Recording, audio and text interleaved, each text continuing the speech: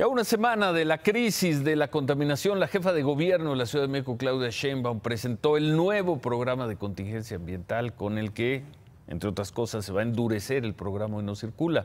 Este programa va a entrar en vigor mañana y se va a aplicar en la Ciudad de México, en los 59 municipios conurbados del Estado de México y en el Valle de Toluca.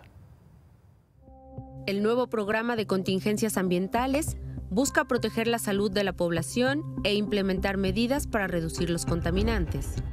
Ahora existirán cuatro fases de contingencia. Preventiva, fase 1, fase 2 combinada y fase 2. Se crea una fase preventiva que se activará cuando el índice de ozono sea mayor a 140 puntos o el de partículas, incluyendo las de 2.5, supere los 135 puntos. En esta fase se recomienda a la población no hacer ejercicio al aire libre.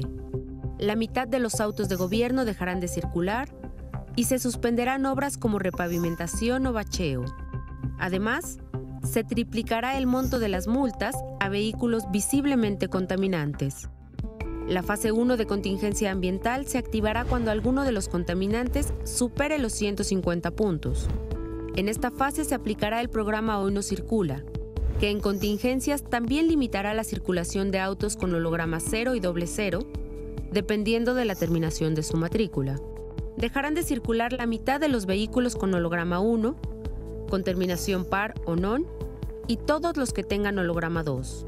Los únicos exentos serán los híbridos o eléctricos. Se suspenderá la circulación de todos los vehículos de gobierno y la refinería Miguel Hidalgo de Tula Hidalgo deberá reducir sus operaciones un 15%. Se recomendará a las empresas facilitar el trabajo desde casa. Con la creación de la fase 2 combinada, que se activará cuando dos partículas contaminantes sean mayores a 150 y 140 puntos, se aplicarán las mismas medidas que en la fase 1, pero se agregará la suspensión de clases en todos los niveles, así como los eventos al aire libre. La fase 2 se activará cuando alguno de los contaminantes supere los 200 puntos. Además de todas las medidas anteriores, en esta fase se suspenderán también partidos y conciertos.